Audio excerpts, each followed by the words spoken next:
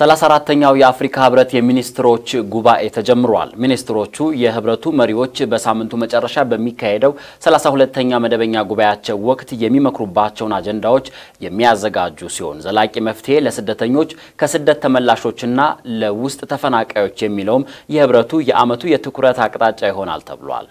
በዓለማችን ከቀያቸው ርቀው ከሚኖሩ ዜጎች ውስጥ 37 በመቶ የሚሆኑት አፍሪካውያን ሲሆኑ ከነዚህ ውስጥ 19.6 ሚሊዮን ስደተኞችና 39.1 ሚሊዮኑ የውስጥ ተፈናቃዮች ናቸው።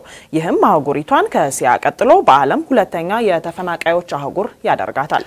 ይህ ጉዳይ ከተሰጠው ያነሰ ትኩረት የተነሳ ከጊዜ ወደ ጊዜ እየጨመረ መጥቶ አሁን ላይ የእያንዳንዱ የአፍሪካ ሀገራት ችግር እንደሆነና በሰላሳ ሁለተኛው የአፍሪካ ህብረት የመሪዎች ጉባኤ የዓመቱ የትኩረት አቅጣጫ ለመሆን የበቃውም በዚህ መነሻነት እንደሆነ ተነግረዋል።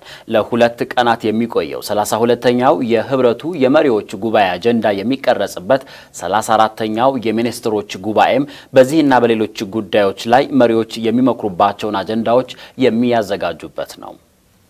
በዚሁ የሚኒስትሮች ጉባኤ ላይ የተገኙት የአፍሪካ ህብረት ሊቀመንበር ሙሳ ፋቂ መሐመትና በተባበሩት መንግስታት የአፍሪካ ኢኮኖሚክ ኮሚሽን ዋና ጸሐፊ ቬራ ሶንግዌ ለአፍሪካውያን ስደተኞች መሪዎች አፋጣኝ ምላሽ መስጠት አለባቸው፣ ይህም የሚጀምረው ከመልካም አስተዳደር ነው ብለዋል።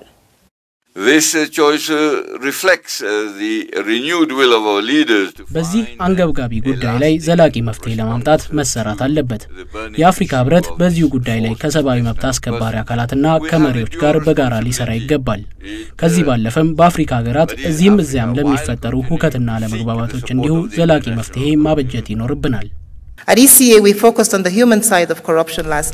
መልካም አስተዳደር አጀንዳው ዋና ማዕከል መሆን ይኖርበታል። ይህም የመንግስት ተቋማት ህግና ደንቦች እንዲጠነክሩ፣ ግልጽነትና ተጠያቂነት እንዲጎለብት ያግዛል። የተባበሩት መንግስታት የአፍሪካ ኢኮኖሚክ ኮሚሽን ሙስና ለመዋጋትና ዜጎች በሚሰጣቸው አገልግሎት እርካታ እንዲያገኙ እየሰራ ነው።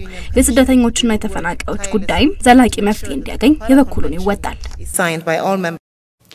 በዕለቱ በቀጠናው ሰላምና እድገት እንዲጎለብት አስተዋጽኦ እያደረጉ ላሉት ጠቅላይ ሚኒስትር አብይ አህመድ የእንኳን ደህና መጡ መልእክት የተላለፈላቸው ሲሆን ኢትዮጵያ በቅርቡ ያጸደቀችው ለስደተኞች የስራና የትምህርት እድል የሚሰጠው አዋጅ ሀገሪቱ ለሰብአዊ መብት መከበር ያላትን ቁርጠኝነት የሚያሳይ ነው ተብሏል። ከአፍሪካ ህብረት መረጃዎቹን ያደረሱን ባልደረቦቻችን ጌታሁን አሰፋና ታምራዊት ወልዱ ናቸው። በግማሽ ዓመት ውስጥ ከ98 ቢሊዮን ብር በላይ ገቢ መሰብሰቡን የገቢዎች ሚኒስቴር አስታወቀ።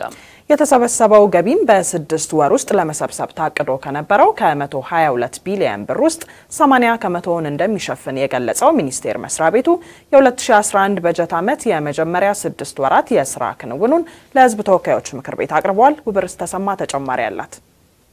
ለህዝብ ተወካዮች ምክር ቤት የቀረበው የገቢዎች ሚኒስቴር የስድስት ወራት የስራ አፈጻጸም ሪፖርት በግማሽ ዓመቱ ከሀገር ውስጥ ታክስ፣ ከውጭ ንግድ ቀረጥ፣ ታክስና ታክስ ካልሆኑ ገቢዎች እንዲሁም ከሎተሪ ሽያጭ የተጣራ ትርፍ በጥቅል ብር 122.18 ቢሊዮን ብር ለመሰብሰብ ታቅዶ 98.96 ቢሊዮን ብር መሰብሰቡን አመላክቷል።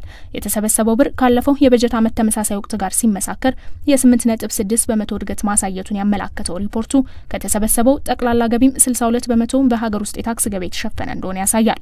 ይሁንና ገቢው አሁንም እንዳለፉት ዓመታት ሁሉ ከጠቅላላው የሀገር ውስጥ ምርት ጋር ያለው መጣጣም የሚጠበቀውን ያህል እድገት አለማሳየቱንም ነው ሪፖርቱ የሚያስረዳው። ለዚህ ችግርም የገቢ ሰብሳቢ መስሪያ ቤቶች የመፈጸም አቅም ጠንካራ አለመሆን፣ የቀረጥ ነጻ መብት አሰጣጥ ልቅ መሆንና ያለ አግባብ መጠቀም እንዲሁም የታክስ ስርዓቱ አለመዘመን የሚሉት እንደ ተጠቃሽ ምክንያቶች ተቀምጠዋል። ከዚሁ ጋር በተያያዘ በተለይም ለገቢ አሰባሰብ ስርዓቱ ለበርካታ ጊዜያት እንደ ችግር የሚነሳውን የአገልግሎት አሰጣጥ ችግር ለማሻሻል የሚያስችሉ አዳዲስ አሰራሮች እየተዘጋጁና ስራ ላይ እየዋሉ እንደሆነም ለምክር ቤቱ ሪፖርቱን ያሰሙት የገቢዎች ሚኒስትሯ ወይዘሮ አዳነች አቤቤ ገልጸዋል። ለግብር ከፋዩ ቀላል ቀልጣፋ አገልግሎት ለመስጠት 23 የህግ ማዕቀፎች፣ አዋጅ፣ ደንብ፣ መመሪያ እና 11 የአሰራር ማሻሻያዎችን ለማድረግ ታቅዶ ሁሉም በረቂቅ ሰነድ ደረጃ ተጠናቀዋል።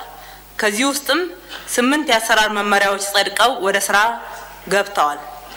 ላብነትም ያህል ከደረቅ ወደብ የባንክ ዋስትና በማቅረብ የማስተናገድ የአስመጪዎች እቃ ከመድረሱ በፊት ሰነድ አቅርበው እንዲስተናገዱ የሚያስችል አሰራር፣ የገቢ እቃን በነጠላና በጥቅል የማስተናገድ ጸድቀው በተግባር ላይ እንዲውሉ ተደርጓል። በተጨማሪም ቁጥራቸው ከአራት ሺህ በላይ ለሆኑና የገቢ ግብራቸው ከሶስት ሚሊዮን እስከ አንድ መቶ ሚሊዮን ብር የሆኑ ግብር ከፋዮች የሚስተናገዱባቸው የመካከለኛ ግብር ከፋዮች ጽህፈት ቤቶች በታህሳስ ወር ወደ ስራ መግባታቸው ቀልጣፋ አሰራርን በመዘርጋት ረገድ ሚኒስቴር መስሪያ ቤቱ በስድስት ወራት ውስጥ አከናወንኩት ያለው ሌላው ጉዳይ ነው። ለከፍተኛ ግብር ከፋዮችም እንግልትን የሚቀንስ አሰራር ለመዘርጋት የተጀመረው ስራ እንዲሁ ከግማሽ በላይ መጠናቀቁን በሪፖርቱ አድምጠናል። የኮንትሮባንድ እንቅስቃሴውንና ህገወጥ የገንዘብ ዝውውርን ከመቆጣጠር አኳያ አሰራሮችን በተሻሉ ቴክኖሎጂዎች ለመደገፍ እየተሰራ መሆኑ የተገለጸ ሲሆን አዳዲስ የፍተሻ ማሽኖች የአዲስ አበባ ኤርፖርት ጉምሩክ ጽህፈት ቤትን ጨምሮ በስድስት ቅርንጫፍ ጽህፈት ቤቶች ተገጥመው አገልግሎት እየሰጡ ነው ተብሏል። በተያያዘም በግማሽ ዓመቱ በተደረገ የገቢና ወጪ ኮንትሮባንድ የመከላከል ስራ ከግማሽ ቢሊዮን ብር በላይ የሚገመቱ እቃዎችና የተለያዩ ሀገራት የገንዘብ ኖቶች መያዛቸው ተመልክቷል።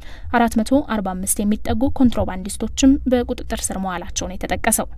በሌላ በኩል በተወረሱ ንብረቶች አያያዝ አጠቃቀምና አወጋገድ፣ በታክስ መረጃ አያያዝና አስተዳደር፣ በሀገር ውስጥ የታክስ ኦዲት አሰራር፣ በጉምሩክ ስነ ስርዓት አፈጻጸምና በቀረጥ ነጻ መብት አጠቃቀም ዙሪያ ለሚኒስቴር መስሪያ ቤቱ ከምክር ቤቱ የገቢዎች ፋይናንስና ውጭ አስተዳደር ጉዳዮች ቋሚ ኮሚቴ እንዲሁም ከፌዴራል ዋና ኦዲተር ቀደም ብለው የቀረቡ የኦዲት ግኝቶችን አስመልክቶም የማሻሻያ እርምቶች መወሰዳቸው ተገልጿል። ተሰጥተው የነበሩ ኦዲት ግኝቶች ብዛት 58 ሲሆኑ በ47ቱ ወይም 81 በመቶ አስተያየቶች ላይ ማስተካከያዎች ተደርገው ቀሪዎቹም በሂደት ላይ ናቸው። በፍጥነት እንዲጠናቀቁም የሚደረግ ይሆናል።